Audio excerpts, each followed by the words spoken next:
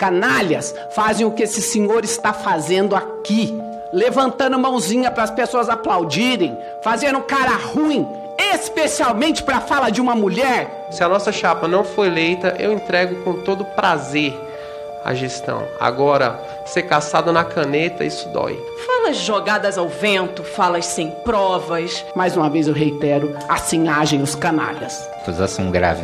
Eu não citei o nome dele. A senhora falou em roubo e mostrou imagens do senhor. Eu solicitei a realização dessa audiência pública justamente porque apresentei o requerimento de auditoria ao Tribunal de Contas da União, que foi aprovado por esta comissão, para investigar né, a eventual e potencial ocorrência dos seguintes ilícitos: indícios de superfaturamento, fraude à licitação na aquisição de uma nova sede no valor de 22 milhões de reais, que segue sem uso durante longo período, manipulação do processo eleitoral de forma a inviabilizar chapas de oposição, intervenções em conselhos regionais sem fundamentos legais, abuso de autoridade, entre outros. Por esse motivo, essa audiência aqui tem o objetivo de dar oportunidade tanto para aqueles que uh, sofreram ou sofrem com este processo, como aqueles que estão sendo acusados, estão sendo investigados, justamente para ter o direito de se defender e de expor a sua versão. Registramos ainda que o senhor Roberto Matar Cepeda, presidente do COFITO, foi convidado a participar da presente audiência pública, não confirmou presença, tampouco enviou representante. Bom, o processo eleitoral do CREFITO 9, que é o Conselho Regional de Fisioterapia e Terapia Ocupacional de Mato Grosso, foram inscritas duas chapas. A chapa 2, ao qual eu venho aqui representar, e a chapa 1, que ela é representada pela ex-presidente do CREFITO 9, que é esposa do diretor-secretário do COFITO, doutora Ingrid Faria. Houve a publicação, então, da ata onde houve a, o deferimento das duas chapas. Depois que houve esse deferimento nesse diário oficial, a Chapa 1 ela interpôs um recurso para a impugnação de uma das candidatas, após a comissão já ter feito análise de documentos e ter dado, então, o deferimento da nossa chapa no processo seletivo, no processo eleitoral. Teve uma reunião, então, com a comissão eleitoral, aonde eles impugnaram a nossa chapa. Porém, quem atualmente estava fazendo toda a orientação jurídica essa comissão eleitoral, o doutor Herbert Chimicati, ele solicitou à comissão tá, que fizesse então uma diligência para a nossa candidata no site da prefeitura do município de Cuiabá. Aonde então constou um débito de IPTU dessa candidata de 2021, ao qual não se faz parte da execução fiscal ao qual constava dentro da certidão.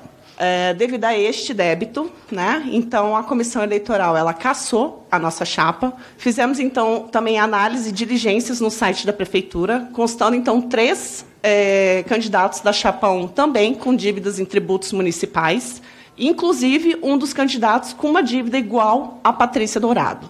Anexamos isso em contrarrazão e apresentamos a última instância administrativa, que é o COFITO.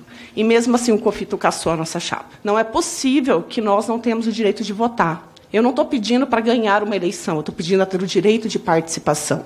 E aí, quando você vê que você está sendo retirada desse direito, tendo que o mesma chapa, a chapa opositora, qual é apoiada pelo COFITO, porque a representante é a esposa do secretário, diretor secretário, então isso nos torna é, uma condição de revolta, né? porque aí a gente usa aquele velho ditado brasileiro, pau que bate em Chico não bate em Francisco.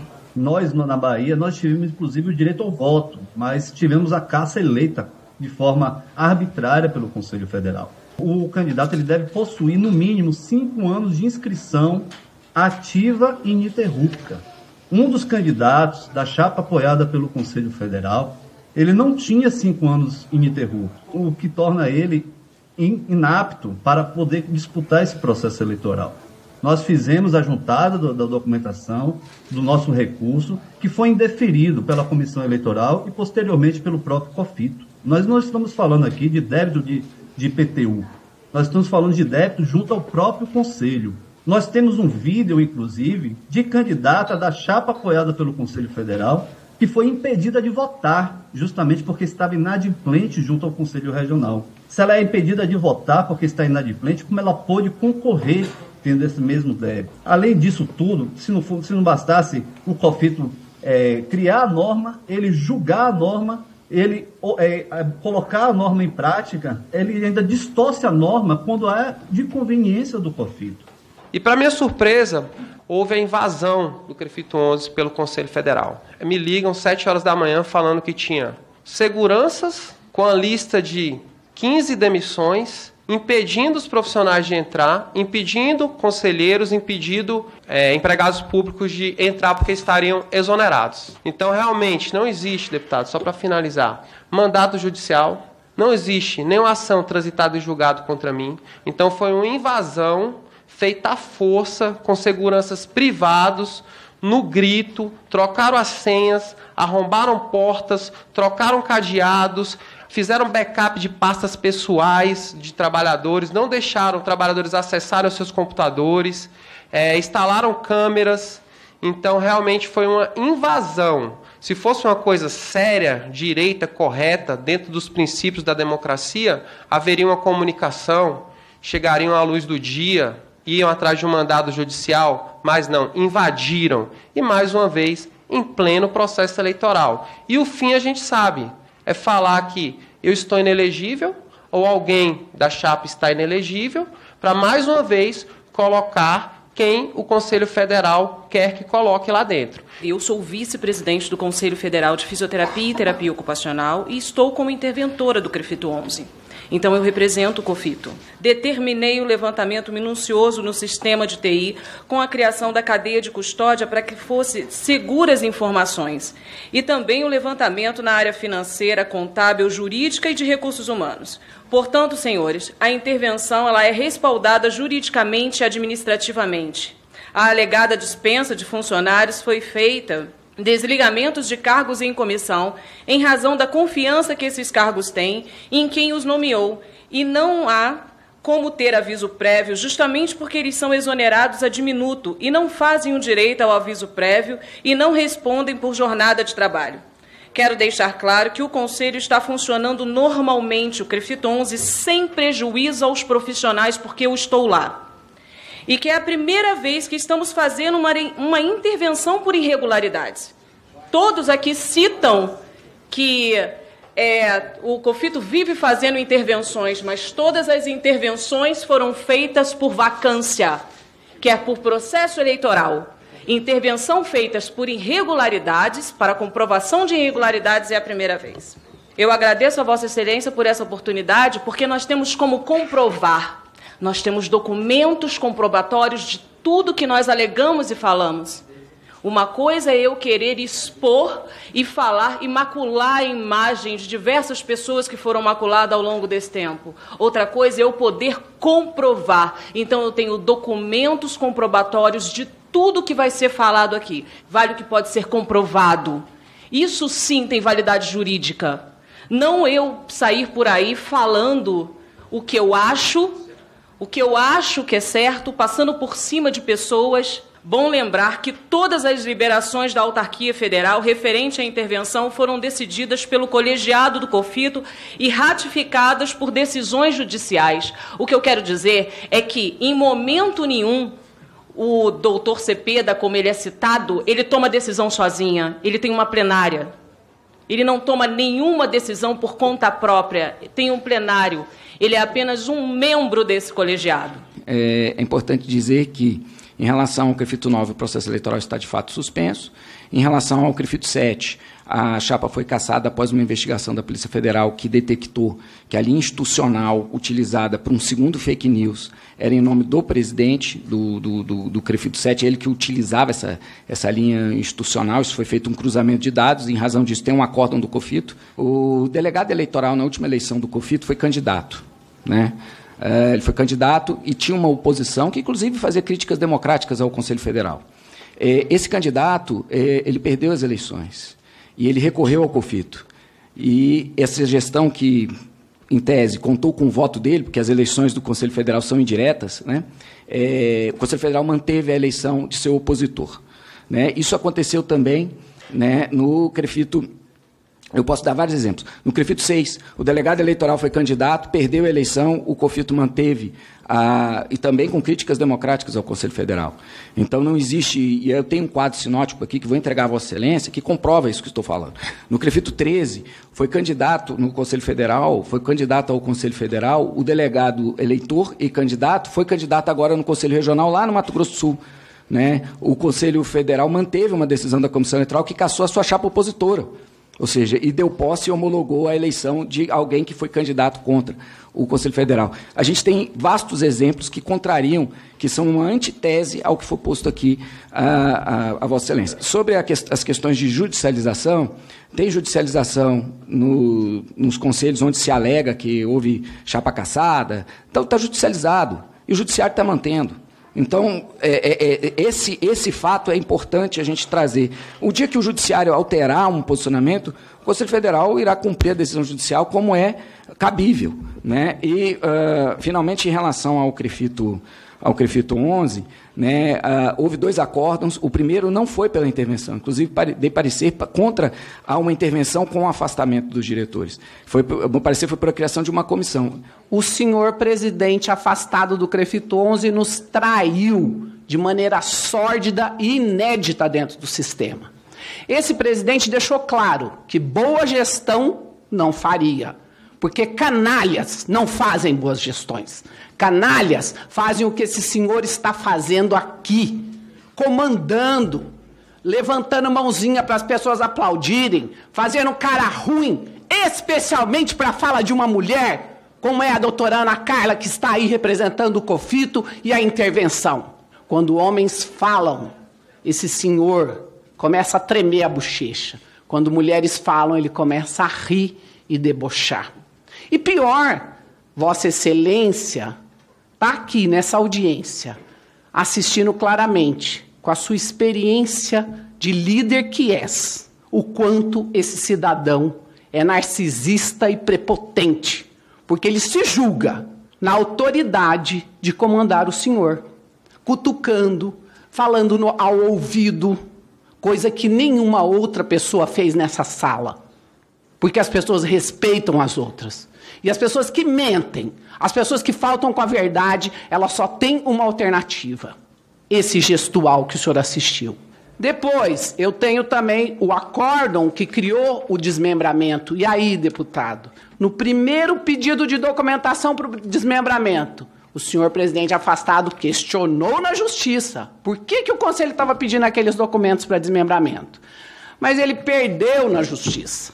Ele perdeu e as decisões estão aqui, são documentais. Ele perdeu na justiça e ele entregou os documentos. Quando ele perdeu na justiça, nós decidimos desembarcar. São nove pessoas do estado de Goiás.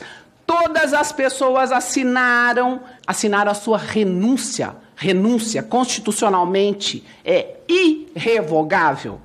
Porém, a diretora tesoureira alegou que ela assinou o documento de maneira confusa.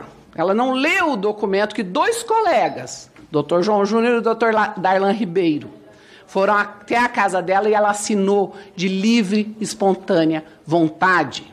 O presidente foi às redes sociais, porque esse é o mecanismo dele. E ele disse que a conselheira tinha sido obrigada. Mentira, mentira. Ele disse que a conselheira não leu o documento, mas ela é tesoureira do Conselho Regional? Como que o presidente nomeia uma tesoureira que não lê documentos? Ele queria que ela assinasse o documento sem ler, sem ter conhecimento do que estava assinando? Porque isso é, é conta, é pagamento.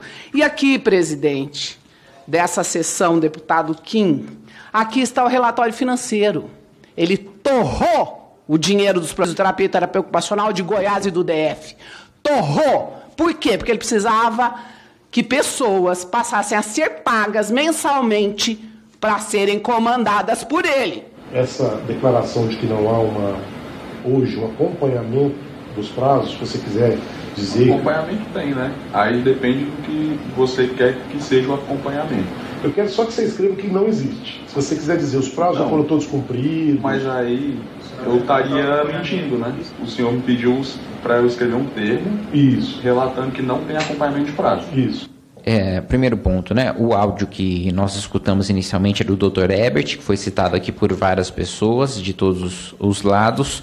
É, primeiro, né, o áudio demonstrando que o Dr. Ebert teria ali pedido para manipular um documento, né? Teria pedido para que funcionários que estavam ali dizendo que havia acompanhamento, ele expressamente pedindo para que fosse escrito que não houvesse acompanhamento. Isso aqui que nós estamos vendo agora, né, é a nomeação uh, de um sócio, né, do Dr. Ebert, para prestar serviços ali a um cargo de comissão de chefe de procurador jurídico do CREFIT 11. Ele é sócio do senhor Ebert, o senhor Ebert, ao que me consta, o Tribunal de Contas da União proibiu que ele prestasse serviços jurídicos né, a, ao Conselho, e por isso me soa muito esquisito, primeiro, que tenha esse áudio, em que ele expressamente pede para que seja retratado num documento aquilo que não é a realidade, e segundo, que o seu sócio seja nomeado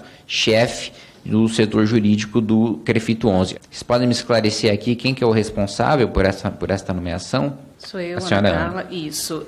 Foi, foi feita uma indicação e uma avaliação curricular. Não é esquisito que um advogado que pelo Tribunal de Contas esteja proibido de prestar serviços jurídicos ao Conselho, né, tem o seu sócio nomeado como chefe do setor jurídico de um conselho que está sob intervenção? Eu não tinha o conhecimento, tá? Eu recebi uma indicação. De quem foi ele, a indicação? Ele cumpria, a minha coordenadora, a minha coordenadora me indicou o advogado. Qual é o nome da sua coordenadora? É, fez a indicação? Vivian, Vivian Ribeiro, que é a coordenadora hoje.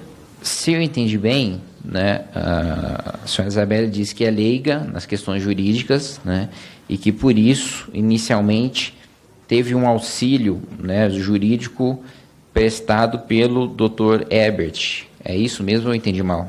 Isso, na primeira reunião, que foi assim como, quando fomos nomeadas, ele ajudou a gente nesse processo, criou o grupo, falou para a gente como funcionava, que começava com inscrição, depois processos de impugnações de cada chapa, aí logo em seguida, se não tivesse mais documento, a gente andaria com processo para data e tipo de, de, de eleição. O que a senhora acabou de me descrever é assessoria jurídica. Isso.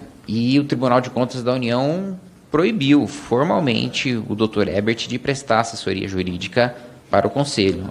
Agora, as fotos da subsede de São Paulo, meu estado, razão pela qual toda essa questão chegou a mim, né, esse é um primeiro ponto importante esclarecer. Né, a causa chegou até o meu gabinete justamente em razão desta subsede, salvo engano, do COFITO, é, no estado de São Paulo, até na cidade de São Paulo, que vocês podem ver aí, acho que encontra-se abandonada, cheia de lixo, com vidro quebrado e, e, por aí vai. E salvo engano, foi esta subsede que foi adquirida por 22 milhões de reais, não? Outra? A de Brasília, né? A de Brasília foi adquirida por 22 milhões de reais. E, mas esta é a subsede de São Paulo, que está abandonada e que há relatos, inclusive no, no requerimento que eu protocolei para a editoria do Tribunal de Contas da União, do próprio uh, segurança, de quem faz a segurança do prédio, dizendo que não tem nenhum uso, que de fato aquilo ali está parado há muito tempo e que ele não entendia nem sequer a razão pela qual era contratado serviço de segurança para aquele prédio abandonado, né? e há um gasto significativo do Conselho para fazer a segurança deste prédio que está abandonado, que não tem uso. É, me faz uma reflexão dizer que o prédio abandonado, que está depredado, ele está à espera da profissão da terapia ocupacional. É, se eu vou separar o meu conselho, porque são duas honrosas profissões, eu tenho que dar, pelo menos, a dignidade para que essa profissão tenha o início de trabalho. E não ter um prédio depredado para poder dar para uma profissão tão honrosa quanto é dos terapeutas ocupacionais. Honro a minha profissão. Eu não ia receber um prédio depredado. Eu ia receber um local onde seria feito um trabalho. Então, cuidado com as palavras para elas não serem direcionadas de maneira equivocada. A nossa tentativa aqui é trazer a verdade através de comprovação, através de falas Falas jogadas ao vento, falas sem provas. Eu tô, eu tô vendo aqui pessoas falando em honra, dinheiro e eu lá, mediante aos custos e aos gastos que eu tenho aqui, que vai ter acesso, que o deputado vai ver. Que as urnas sejam respeitadas, que quem tiver a maioria dos votos, como no Crefito 7, possa ser eleito. A Juliana, que veio do Mato Grosso para cá, chegou ontem de madrugada, possa ter o direito da chapa dela competir. E que aqui em Brasília também socorra, e que Goiás também comece o processo eleitoral, né? volte a andar porque está parado que seja respeitada a vontade dos fisioterapeutas e dos terapeutas ocupacionais. Se a nossa chapa não for eleita, eu entrego com todo prazer a gestão. Agora, ser caçado na caneta, isso dói. Porque tem gasto para fazer uma eleição, tem gasto para montar uma chapa, tem gasto com advogado. Então, a gente gostaria muito que houvesse o respeito pela vontade dos fisioterapeutas e terapeutas ocupacionais do Brasil. Obrigado. Encerro aqui minha fala. No que compete a esta comissão, ao Tribunal de Contas da União, nós vamos trabalhar para garantir que haja o bom uso do dinheiro dos profissionais, né, que eles atendam os profissionais na ponta, para que não haja superfaturamento, para que não haja irregularidades, desvios de nenhuma das partes, nem por partes de regionais, nem por partes do nacional.